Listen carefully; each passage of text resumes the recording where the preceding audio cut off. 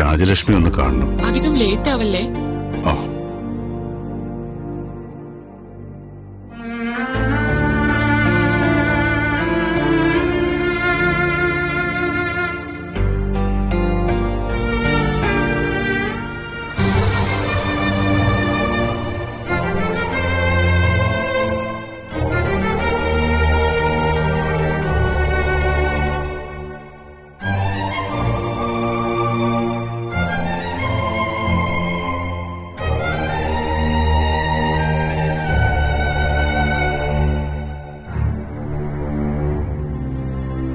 വേഗം കണ്ട് പുറത്തു പോണം. വിസിറ്റേഴ്സിനെ അധിക സമയം ഇവിടെ അനുവദിക്കില്ല.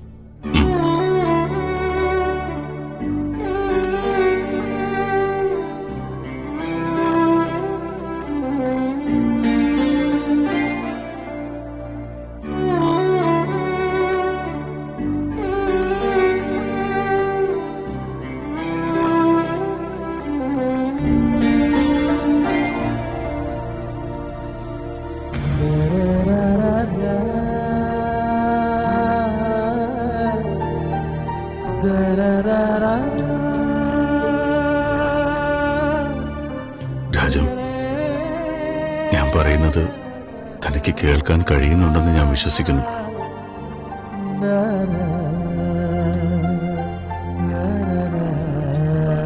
താൻ എത്രയോ നാളുകളായി കേൾക്കാൻ ആഗ്രഹിച്ചൊരു വാർത്തയാ ഇന്ന് ഞാൻ കേട്ടത്. നമ്മൾ മുത്തശ്ശനും മുത്തശ്ശിയാകാൻ പോവാണെന്ന് കേട്ടപ്പോ ആദ്യം സന്തോഷാ തോന്നിയത്.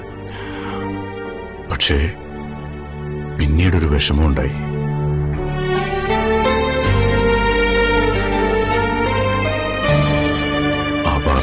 കേൾക്കേണ്ടിയിരുന്നത് താനായിരുന്നല്ലോ.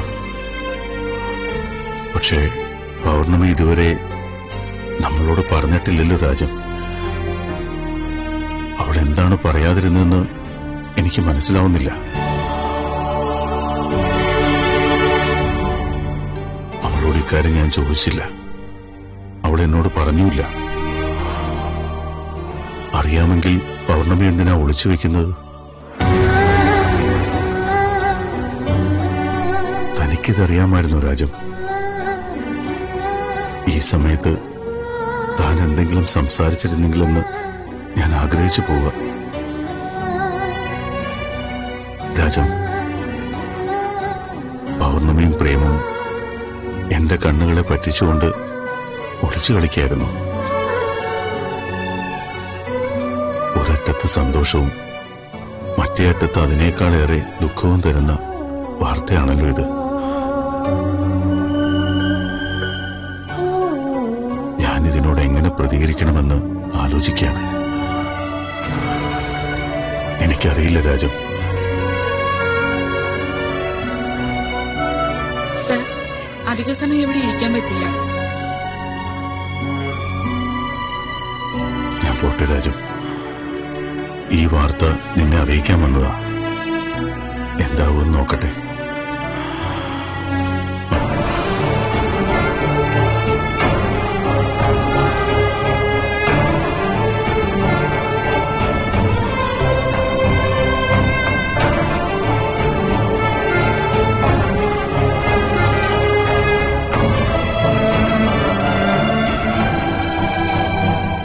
നിന്റെ കോൾ വരുന്നവരെ എനിക്ക് ഒരു സമാധാനം ഇല്ലായിരുന്നു നീ വിളിച്ചപ്പോഴാ എന്റെ ശ്വാസം ഒന്ന് നേരെ വീണ. ബോധം വീണപ്പോ ഞാനും പേടിച്ചു പോയി സർ. എന്താണ് സംഭവിച്ചെന്ന് ഓർത്തെടുത്തപ്പോ സേതുവഞ്ചിയും പ്രതാപങ്ങളിനെ കണ്ടത്. അതോടെ എന്റെ കണ്ണിൽ വീണ്ടും ഇരുട്ട് കയറുന്ന പോലെ തോന്നി.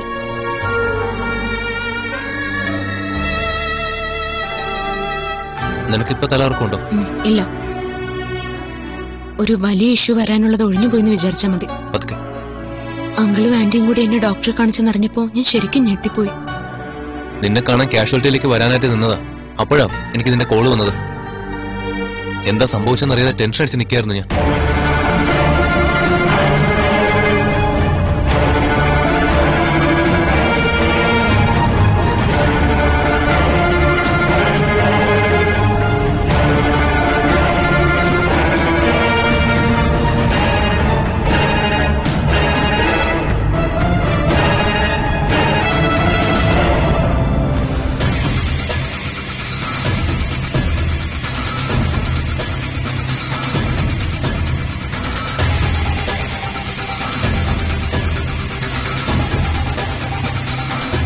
പോട്ടെ.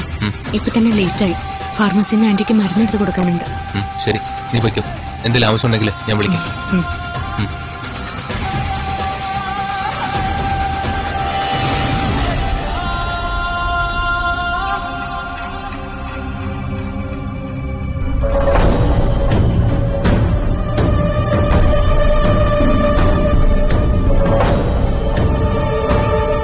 പൗർണമി ആരോടാ സംസാരിച്ചത്?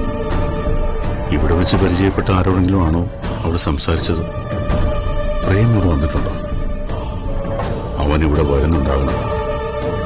പ്രേമുമായി ഒരു കോണ്ടാക്റ്റും ഇല്ലെന്നാണ് പൗർണമി പറഞ്ഞുകൊണ്ടിരിക്കുന്നത്. പക്ഷെ സംഭവിച്ചിരിക്കുന്നത് അങ്ങനെ വിശ്വസിക്കാൻ കഴിയുന്നതല്ലല്ലോ. പൗർണമി ഇപ്പൊ സംസാരിച്ചത് പ്രേമിനോടല്ലെങ്കിൽ. പ്രേം ഈ സമയത്ത് ഗസ്റ്റ് ഹൗസിലുണ്ടാവണം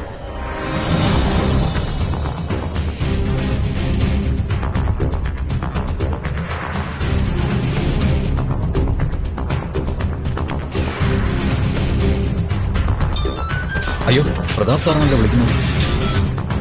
സർ? ആ നാരായണ പ്രേം അവിടെ ഉണ്ടോ എന്ന് അറിയാനാ വിളിച്ചത്. പ്രതാപ് സാർ ചോദിച്ച പ്രേം സാർ ഇവിടെ ഉണ്ടെന്ന് പറയണമെന്നാണല്ലോ സാറ് പറഞ്ഞിരിക്കുന്നത്. നാരായണ ചോദിച്ചത് കേട്ടില്ലേ? ആ ഏ, കേട്ടു സാർ. പ്രേം സാർ ഇവിടെ തന്നെ ഉണ്ട് സാർ. കുളിക്കാനായി ബാത്റൂമിലേക്ക് ഇപ്പൊ കയറിയതേ ഉള്ളൂ.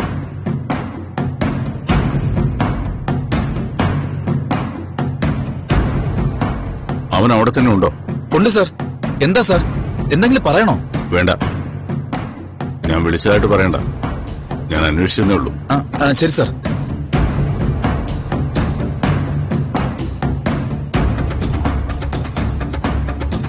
പ്രേം ഗസ്റ്റ് ഹൗസിൽ തന്നെ ഉണ്ടല്ലോ. പിന്നെ ആരോടാ സംസാരിച്ചു സംസാരിച്ചതെന്ന്?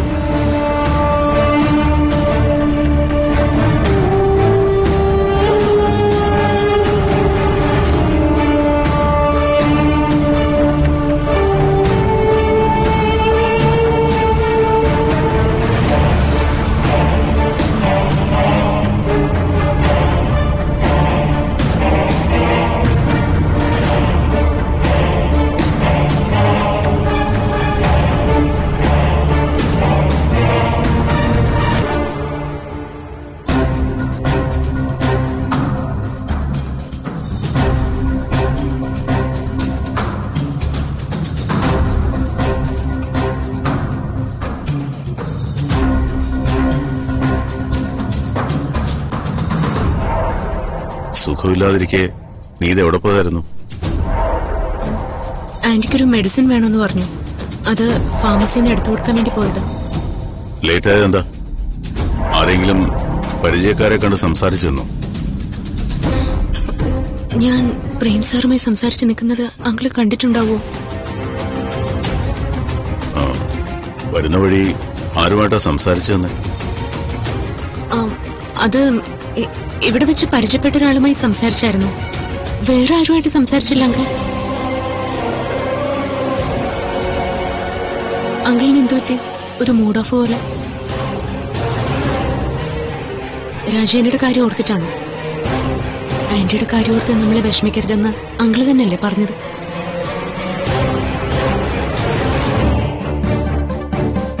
ആന്റിക്ക് പ്രതീക്ഷയും ആരോഗ്യവും കൊടുക്കാൻ നമ്മൾ സന്തോഷമായിട്ട് നിൽക്കണമെന്ന് പറഞ്ഞിട്ട് അങ്കിൾ വിഷമിക്കുന്ന എന്തിനാ?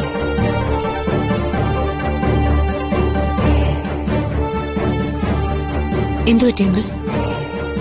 ഒന്നുമില്ല. ഓരോന്ന് ഓർത്തിരുന്നു പോയതാ. മോളെ നിന്റെ ക്ഷീണവും തളർച്ചയൊക്കെ മാറിയോ? ആ അതൊക്കെ എപ്പോഴേ മാറി. ഇപ്പൊ എനിക്കൊരു കുഴപ്പമില്ല. നിനക്കെന്താ പെട്ടെന്ന് ഒരു ടയർനെസ് ഉണ്ടായത്? സമയത്ത് ഫുഡ് കഴിക്കാതിരുന്നോണ്ടായിരിക്കും ആന്റി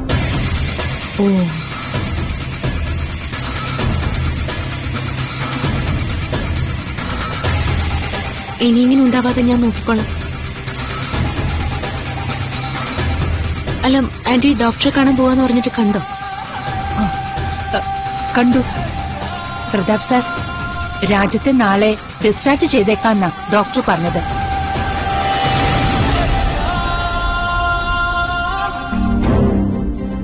ഇവിടെ തുടരുന്നതുകൊണ്ടും പ്രയോജനമൊന്നുമില്ലല്ലോ. ആ,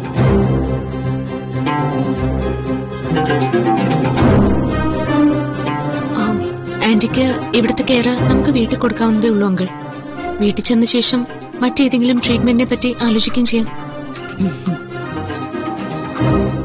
വീട്ടിലേക്ക് കൊണ്ടുപോകണമെങ്കിൽ അങ്ങനെയാവാം.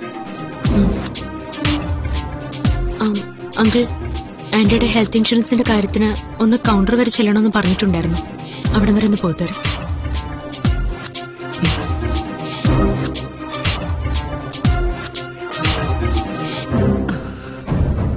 പ്രതാപ് സാർ നിങ്ങളുടെ മരുമകൾ ഒരു പഠിച്ച കള്ളി തന്നെയാണല്ലോ.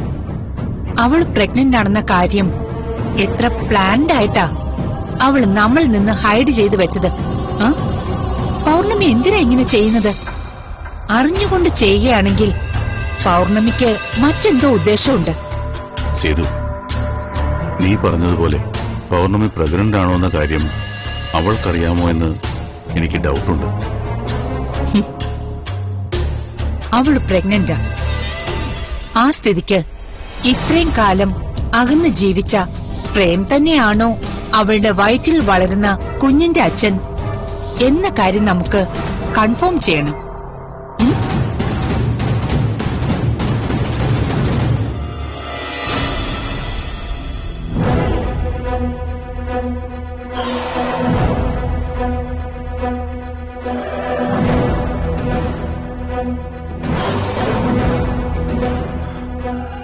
കാര്യം പിന്നീട് സംസാരിക്കാം. ഇപ്പൊ രാജ്യത്തെ ഡിസ്ചാർജ് ചെയ്ത് വീട്ടിൽ കൊണ്ടുപോകുന്നതാണല്ലോ പ്രധാനം. അതിന്റെ കാര്യങ്ങൾ ഞാൻ ഡോക്ടറുമായിട്ടൊന്ന് സംസാരിക്കട്ടെ?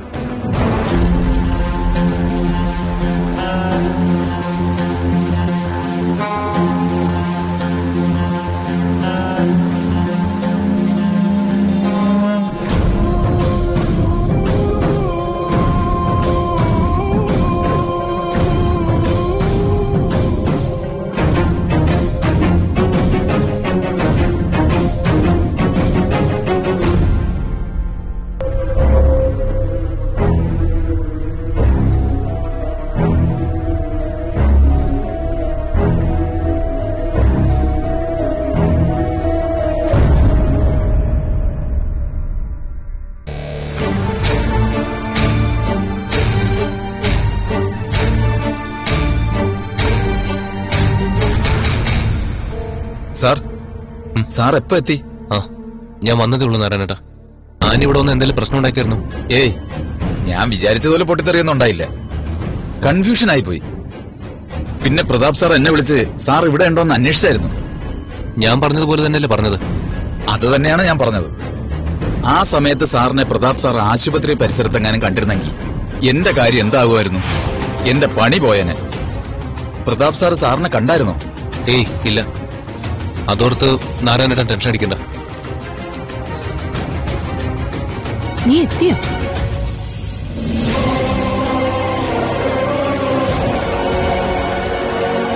പ്രേം നീ എന്തിനാ അമ്മയുടെ കാര്യത്തിന് ഇങ്ങനെ അലഞ്ഞു നടക്കുന്നേ? അതിന്റെ ആവശ്യം എന്താ? പിന്നെ എന്റെ അമ്മയുടെ കാര്യത്തിന് ഞാനല്ലാതെ നീ നടക്കോ എനിക്കങ്ങനെ നടക്കാൻ പറ്റില്ല. അതിനുള്ള സമയവും ഇല്ല. പിന്നെ നിന്റെ അമ്മയുടെ എ ടു ഇസഡ് കാര്യങ്ങളെല്ലാം പൗർണമിയല്ലേ കൊട്ടേഷൻ എടുത്തിരിക്കുന്നത് അമ്മയുടെ കാര്യങ്ങൾ നീ അന്വേഷിക്കരുത് എന്നല്ല ഞാൻ ഉദ്ദേശിക്കുന്നത്. അമ്മയുടെ ചികിത്സാ കാര്യങ്ങൾക്ക് വേണ്ടി നീ എന്തിനാ യാത്ര ചെയ്ത് ദൂരേക്ക് പോയി എന്നാ ചോദിച്ചത്? എന്റെ അമ്മയെ രക്ഷപ്പെടുത്തി എടുക്കാനായിട്ട് ഞാൻ എന്തും ചെയ്യും. അതെന്റെ കടമയാ.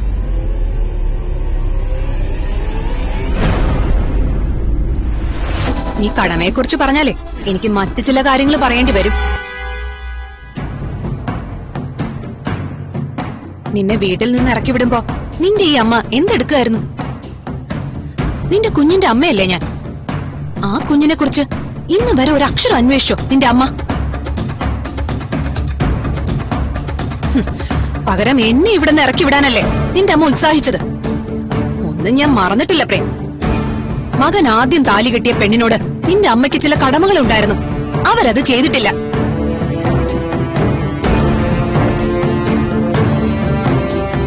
അമ്മ ഇപ്പൊ ഹോസ്പിറ്റലായപ്പോ ഓടി നടക്കാൻ നീ വേണം. നീ ഇതിനൊന്നും നടക്കരുതെന്നാ എനിക്ക് പറയാനുള്ളത്.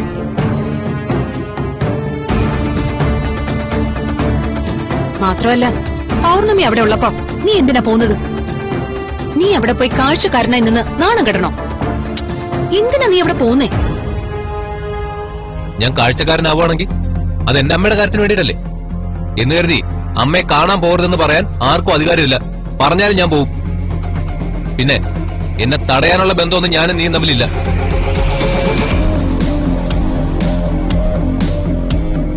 ഉണ്ടോ? ഇല്ലല്ലോ? അതെനിക്കും അറിയാം നിനക്കും അറിയാം. അതോടെ നീ കൂടുതൽ സംസാരിക്കണ്ട.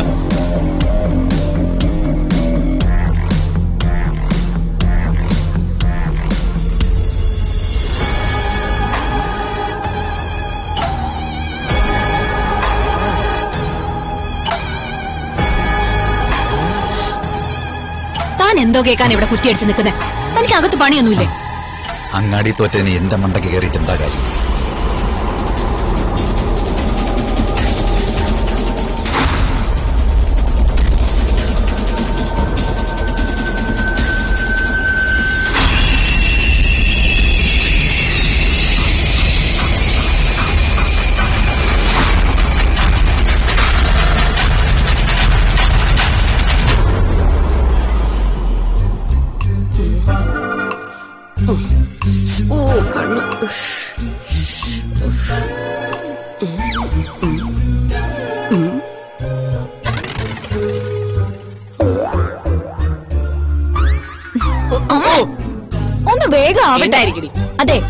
രാജ ആന്റിക്ക് ജ്യൂസ് കൊണ്ടുവരാൻ സേതു ആന്റി പറഞ്ഞിട്ട് എത്ര നേരമായി? ലേറ്റ് ആയല്ലേ? പൗർണമി ജ്യൂസ് എടുത്തോണ്ട് പോവേ. ബേട്ടി എനിക്ക് രണ്ടു കയ്യല്ലേ ഉള്ളൂ. കോമാ സ്റ്റേറ്റിൽ കിടക്കുന്ന ഒരാൾ നമ്മൾ കഴിക്കുകയും കുടിക്കുകയും ചെയ്യുന്ന പോലെ എന്തെങ്കിലും കൊടുക്കാൻ പറ്റുമോ അങ്ങനെയുള്ളവർക്ക് ജ്യൂസ് തയ്യാറാക്കുമ്പോ കുറച്ച് സമയമൊക്കെ എടുക്കും. നീ ഒന്ന് അടങ്ങിയിരിക്കും. ഗ്ലാസ്. ആ. ഭാവിയെ ഡിസ്ചാർജ് ചെയ്ത് ഇങ്ങോട്ട് കൊണ്ടുവരേണ്ട വല്ല കാര്യം ഉണ്ടായിരുന്നു. ഇവിടെ കൊണ്ടുവന്നിട്ട് ആര് നോക്കാനാ. ഓരോരുത്തർക്ക് അവരവരുടെ കാര്യം നോക്കാൻ തന്നെ സമയമില്ല. പിന്നെയാണോ കോമാ സ്റ്റേജിൽ കിടക്കുന്ന ഭാവിയെ നോക്കുന്നത്? ഭാവി ഇങ്ങോട്ട് കൊണ്ടുവന്നത് നമ്മളെ കഷ്ടപ്പെടുത്താനാ. ആന്റി. എന്ത് വർത്തമാനീ പറയുന്നത് രാജേന്റെ ഈ വീട്ടിലേക്കല്ലാതെ വേറെ എവിടേക്ക് കൊണ്ടുപോകണമായിരുന്നു വേറെ എവിടേക്കെങ്കിലും കൊണ്ടുപോകണമെന്ന് ഞങ്ങൾ പറഞ്ഞോ? നിനക്ക് അങ്ങനെ വല്ല ഉദ്ദേശം ഉണ്ടെങ്കിൽ അത് പറ. നിങ്ങൾ ആരും ആന്റിയുടെ കാര്യം നോക്കണമെന്നില്ല. നിങ്ങൾ പഴയതുപോലെ ഈ വീട്ടിലെ കാര്യങ്ങൾ മാത്രം നോക്കിയാൽ മതി. ആന്റിയുടെ കാര്യം നിങ്ങൾ ആരെയും ഏൽപ്പിക്കാനും ഉദ്ദേശിക്കുന്നില്ല. അതുകൊണ്ട് തളർന്നു നടക്കുന്ന ആന്റിയെ പരിചരിച്ച് നിങ്ങൾ ആരും കഷ്ടപ്പെടണ്ട. അല്ല നിന്റെ പ്രസംഗം കേട്ടിട്ട് തളർന്നു കിടക്കുന്ന ഭാവിയെ നീ പരിചരിച്ച് കൂട്ടിരിക്കാൻ പോവാണെന്ന് തോന്നുന്നല്ലോ. നിന്നെ കൊണ്ട് നടക്കില്ലല്ലോ. നിനക്കിന്ന് ഓഫീസിൽ പോകാനുള്ളതല്ലേ. അല്ല നീ ഓഫീസിൽ പോയി വരുന്നതുവരെ ഭാവി ആരും നോക്കൂ? ഞങ്ങളല്ലാതെ വേറെ ആരും ഇല്ലല്ലോ ഇവിടെ. സേതു ദീദിക്ക് ഇതൊന്നും പറ്റത്തില്ല. അല്ല രാജി ആന്റിയെ കെയർ ചെയ്യാനായിട്ട് ഏതെങ്കിലും ഹോം നഴ്സിനെ ഏർപ്പാടാക്കാൻ ഉദ്ദേശിക്കുന്നുണ്ടോ? രാജേന്ദ്രയുടെ കാര്യം ആലോചിച്ച് നിങ്ങൾ ആരും ടെൻഷൻ ആവണ്ട. ഓ. ആന്റിക്ക് ഇങ്ങനെ ഒരു അവസ്ഥ വന്നുപോയി. ആ സമയത്ത് കൂടെ നിൽക്കേണ്ടവർ കൈ ഒഴിയുന്നത് ശരിയല്ല. നിങ്ങളൊക്കെ എപ്പോഴും ഇവിടെ നിൽക്കുന്നത് രാജേന്ദ്രയുടെ വലിയ മനസ്സുകൊണ്ടാണെന്ന് ഈ സിറ്റുവേഷനിലെങ്കിലും നിങ്ങൾ ഓർക്കണം. എന്തായാലും ഹോം നഴ്സിനെ ഏൽപ്പിച്ച് ഒഴിഞ്ഞു മാറാൻ എനിക്ക് ഉദ്ദേശമില്ല. ആന്റിയുടെ കാര്യങ്ങൾ നോക്കാൻ നിങ്ങളെ ആരെയും ബുദ്ധിമുട്ടിക്കാനും ഞാൻ ആഗ്രഹിക്കുന്നില്ല. ആന്റിയെ ഞാൻ തന്നെ നോക്കിക്കോളാം.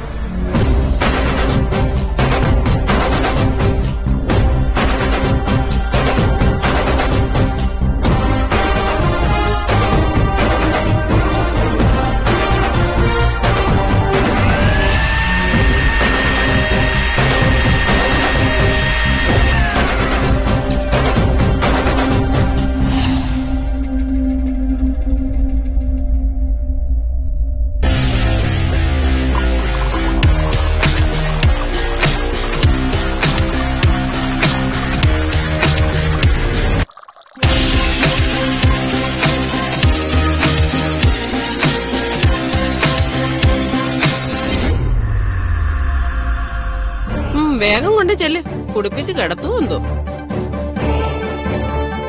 അവളുടെ സംസാരം കേട്ടിട്ടേ. അവൾ ഇനി ഓഫീസിൽ പോകുന്നില്ലെന്നാ തോന്നുന്നത് രാജു ആന്റിയെ നോക്കണമെങ്കിൽ ഫുൾ ടൈം അവളിവിടെ ഉണ്ടായിരിക്കണ്ടേ? ആ അവളുടെ മനസ്സിലൊരു എന്താന്ന് ആർക്കറിയാം? ഭാവിയെ ഈ സ്ഥിതിയിലാക്കിയത് അവൾ ഒറ്റ ഒരുത്തിയാണെന്ന് എനിക്ക് ഇപ്പോഴും സംശയം. എന്നിട്ട് അവൾ പരിചരിക്കാൻ നടക്കുന്നു.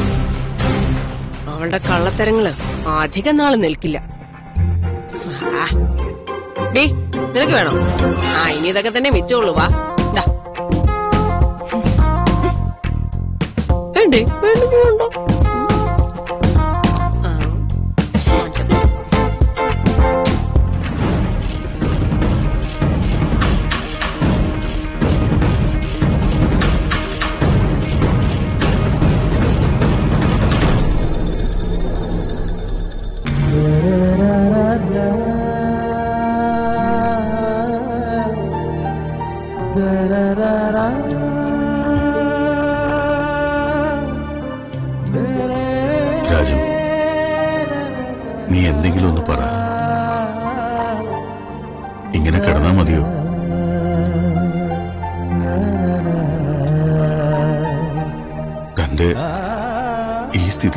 നിൽക്കാൻ എനിക്ക് പറ്റുന്നില്ല.